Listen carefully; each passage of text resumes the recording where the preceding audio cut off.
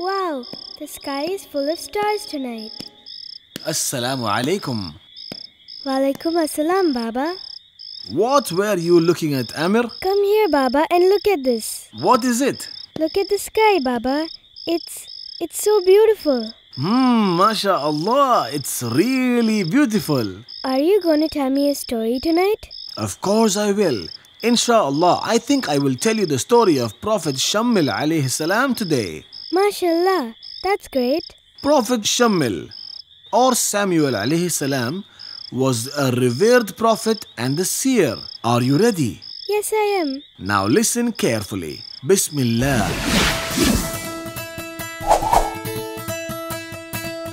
The story of Prophet Shammil alayhi salam.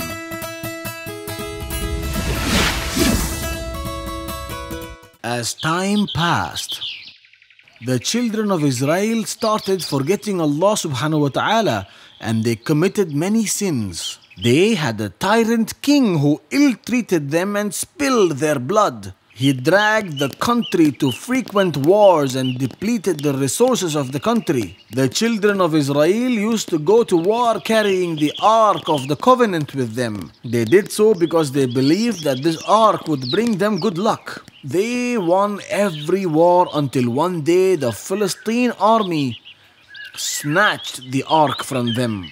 Not only did they lose the ark, they lost the war as well. When the king heard what happened, he suffered a heart attack and died on the spot. The children of Israel were now left without a king. They were now like a sheep without a shepherd. It was then that God sent them a prophet named Shammil alayhi salam. They were now very happy. They asked the prophet to appoint a strong leader so that they could fight against the Philistines and take back the ark. Prophet Shammil alayhi salam knew their weakness and warned them. I fear that you may refuse when the time of fight arrives. But the people assured the Prophet that they were ready to fight in the way of Allah. That night, the Prophet prayed to Allah for guidance. It was then that Allah informed the Prophet that he had selected a man named Talut to be their king. But the Prophet was confused now. How will I recognize this man? He asked God. Then God told him that Talut would come to Shammil in some time by himself. Shammil was instructed to hand over the control of the kingdom to Talut. Talut was a tall, sturdy, and very intelligent man who lived with his father in a farm far away. He lived and worked with his father in that farm. One day, Talut, accompanied by his servant, were out looking for his missing donkeys. They traveled for many days searching for the donkeys, but they could not find them. Let us go back, said Talut to his servant. My father would have started worrying by now, and there are other animals to be taken care of. Master, replied the servant, this is the land where Prophet Shammil lives. I think we should go and pay him a visit. We can also ask him about the lost donkeys. Talut agreed that it was a good idea and went to meet the Prophet. On their way, they asked directions from some women carrying water. The women told them that they can find the Prophet's house on top of the mountain. Talut and his servant walked up the mountain as they had been told. When they finally arrived at the place, they saw a large crowd in front of the house of the Prophet. Talut saw Prophet Shammil alayhi salam standing in front of the crowd and immediately realized that he was indeed a holy man. The Prophet saw Talut standing at a distance and he recognized that Talut was the chosen one to become the king of Israel. Talut greeted the Prophet respectfully. He then asked the Prophet about his missing donkeys. Don't worry, replied the Prophet. The donkeys are already on their way to your father's farm. The Prophet then informed Talut that Allah had chosen him to lead the children of Israel. The Prophet told him that Talut was to take charge of their affairs. He was to unite them under one banner and to protect them from their enemies. Talut was surprised by the sudden honor offered to him. It was also a huge responsibility. He told the Prophet that he didn't know anything about leadership and neither did he have any wealth. But the Prophet calmed him by saying it was the will of Allah subhanahu wa ta'ala. Prophet Shammil introduced Talut as the next king to the children of Israel, but the people were not happy. He is from Binyamin's tribe, shouted one. He was not wealthy from birth, shouted another. How can he be a king over us when we have greater right to kinship than he? He does not have any wealth. But the Prophet answered them calmly Allah has indeed appointed Talut as a king over you. He has increased him abundantly in knowledge and stature. Allah grants his kingdom to whom he wills. He is the all wise. After a long argument, the people demanded that if the long lost chest contained the belongings of Prophet Musa was restored, they would accept Talut as their king. Talut was appointed as the king and he immediately set about organizing his army. He ordered that only men free from responsibilities should join the army. He asked those building homes, those who were about to be married, and those who were engaged in business not to join the army. He put them through vigorous trainings and gave them strict rules to follow. After a few days, Talut set out for war against the Philistines. They traveled for many days and nights through the desert. After days of traveling, they reached the banks of a river. Talut decided to put his army to go through a test. You are allowed to drink water from the river, but only to quench your thirst, not more than that. He ordered them but the soldiers were really tired and many of them drank more than they needed. Talut was disappointed when he found this. He immediately discharged them for disobedience. He kept only those who had proved their sincerity. Like this, he put his army through several tests, and by the time they came face to face with the Philistine army, there were only about 30 soldiers left with him. But Talut was not bothered. He believed in quality and not in numbers. He thought it was better to be a small band of true believers rather than a huge army of unreliable men. With this small army, he faced the Philistine army, who were very strong and armed with better weapons. They were led by Goliath, a mighty warrior from Philistine. He was a gigantic person known for his huge build and brute strength. A great number of Talut's men ran away when they saw such a huge army. What happened then? Who won the war? I will tell you about that tomorrow. Mashallah, that was such an amazing story. Now, are you ready for the questions? Yes, I am. All right, now here's the first question. What did the children of Israel lose after their war with the Philistines? Hmm, was it because they had lost the ark? That's correct. Now tell me, what did the children of Israel ask Prophet Shammil alayhi salam? They asked the Prophet to appoint a king to lead them. MashaAllah, that's correct again. How did Talut find the Prophet? Hmm, Talut was searching for his lost donkeys and they wandered to the land where the Prophet lived. And why did they go and meet the Prophet? Talut's servant thought that the Prophet would be able to say where the donkeys were. MashaAllah, that's great. You are doing great, Amr. Thank you, Baba. Which tribe did Talut belong to? He belonged to the tribe of Binyamin. That's correct again. Now for the last question. Who was the leader of the Philistine army? It was Goliath. Insha'Allah, you did great, my son. I will see you again tomorrow with the story of Prophet Dawood alayhi salam. Good night, Baba. Good night, Amr.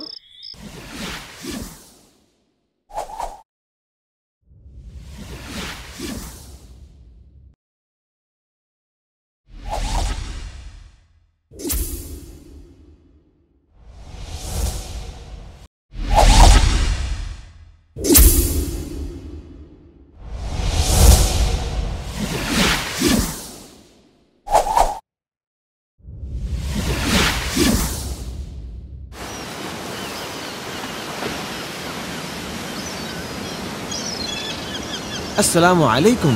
Walaikum assalam.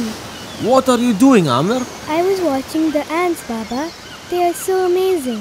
Why are you so impressed with the ants? I don't know. Just look at them. In spite of being so small creatures, they are so disciplined. They always form a line while going anywhere. And they are all so hardworking. That's true, my son. Now tell me, have you heard the story of Prophet Sulaiman alayhi salam and the ants? Huh? No, Baba. I haven't. Can you please tell that to me? Insha'Allah, I will tell you the story now. Come, let's both sit down on a rock here. Now listen carefully. Bismillah. The story of Prophet Sulaiman alayhi salam. In the last episode, we saw how wise Prophet Sulaiman was even when he was a child. After the death of Prophet Dawood salam, Sulaiman salam became the king. He begged Allah for a kingdom such as none after him would have. Allah subhanahu wa ta'ala granted him his wish. Besides the wisdom, Allah had blessed the Prophet with many abilities. He could command the wind as he pleased, and he could understand the language of birds and animals and even talk to them. The Prophet ruled the kingdom wisely, and at his commands they built huge temples fortresses, towers, and palaces. Once Prophet Sulaiman salam and his army were passing through a valley while going to Ascalon. While they were passing through the valley, an ant saw the approaching army. He then cried out to warn the other ants. Run to your homes, or else Sulaiman and his army will unintentionally crush you. The Prophet was very amused to hear this. Even this small ant knows that I am a prophet, he thought. He then thanked Allah for saving the ants' lives. Sulaiman salam had jinns and birds serving in his army as well. They were all kept in order and ranks, and the Prophet demanded strict discipline among them. That is why he was very upset to find that one bird, the hoopoe, was absent without his consent. However, the bird soon appeared to explain his absence. The little bird had been scouting in areas where the Prophet had not yet scouted. I have discovered something which you are not aware of. I am coming from Saba with important news. The Prophet's anger subsided and he became curious. The bird continued Saba is ruled by a queen named Bilqis who has plenty of everything, even a splendid throne. But in spite of all this wealth, they are worshipping the sun instead of Allah. The Prophet wanted to test if the hoopoe was saying the truth, so he sent a letter to the queen. The bird carried the letter to the kingdom of Bilqis. The hoopoe dropped the letter in front of the queen and flew away to hide. The queen opened the letter and she read the greetings from the Prophet. The Prophet had also asked her to submit to Allah subhanahu wa ta'ala. The queen was very disturbed, so she summoned her advisors. They told her that even though their country had the strength to wage a war, they wanted her to arrive at a peaceful settlement. Then they came up with an idea. They decided to send their messengers to the Prophet's palace on the pretext of carrying gifts. They asked the messengers to learn about the Prophet's army and kingdom. When the messengers arrived at the Prophet's palace, they realized that Saba was nothing compared to the Prophet's kingdom.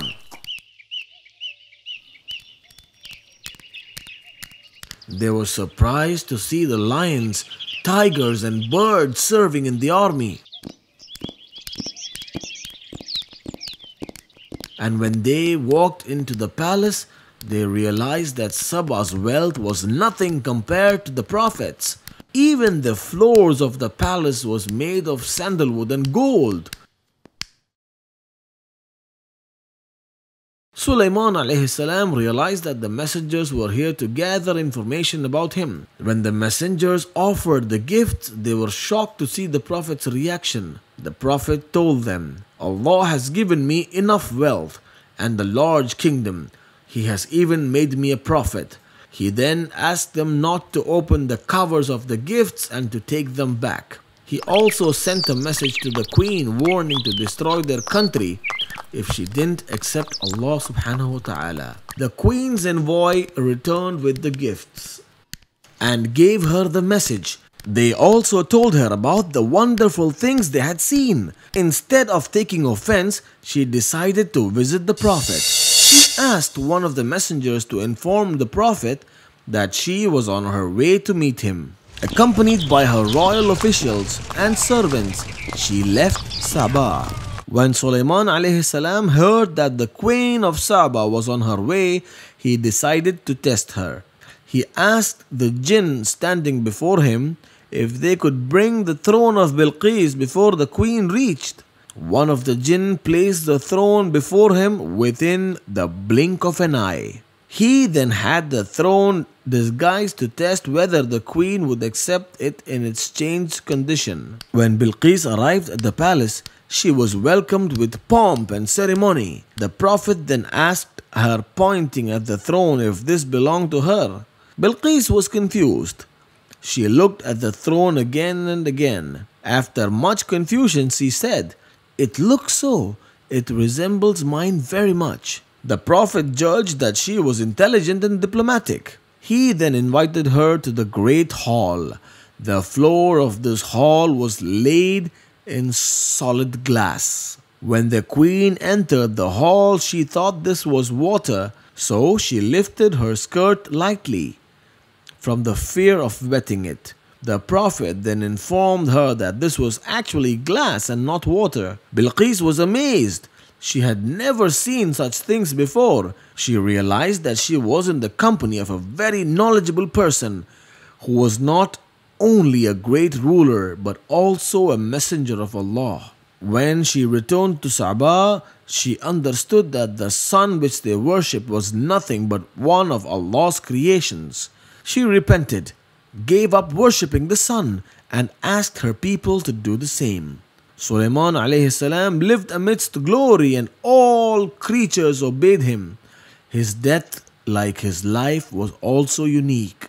One day the Prophet was sitting holding his staff, overseeing the jinns working at a mine. The Prophet died sitting in that position. For a long time, no one was unaware of his death as he was sitting erect. The jinns continued to work in the mine, thinking that the Prophet was watching over them. They kept working for many days like this. Many days later, a hungry ant began nibbling at the Prophet's staff. It continued to do so, eating the lower part of the staff until it fell out of the Prophet's hand. When the body was no longer supported by the staff, it fell down. MashaAllah, that was an amazing story. I'm glad you liked it, my son. Now, shall I ask you a few questions? Yes, Baba, I'm ready. All right, now tell me what were the special powers of Sulaiman alayhi salam? The Prophet to understand the language of animals. And he could command the winds. Great, that was right. Now for the next question. When the Prophet was marching through the army, did the ants think that the Prophet would kill them intentionally? No, the ants realized that he was a prophet. That's why he shouted that the Prophet may kill them unknowingly. That's correct again. Now tell me why did the hoopoe go missing? Hmm. The hoopoe was scouting the lands for the prophet and it had found the kingdom of Saba. That's right again. What was the message that the prophet sent to the queen of Saba? Hmm. The prophet sent his greetings and also asked the queen to submit to Allah. And did the queen submit to Allah subhanahu wa ta'ala? Not at first. She sent gifts to the prophet hoping to please him. She asked the messengers to find more about their army. Why didn't the Prophet accept the gifts? The Prophet told them that he had received better gifts from his God and asked them to take it back. Did Bilqis get angry when her gifts were rejected? No, it was then that she decided to pay him a visit. And what did she realize when she met the Prophet? She realized that the Prophet was not only a knowledgeable person, but also a messenger of the God. MashaAllah, you gave all the right answers today, my son. I will see you tomorrow with another story. Goodbye. Goodbye, Baba.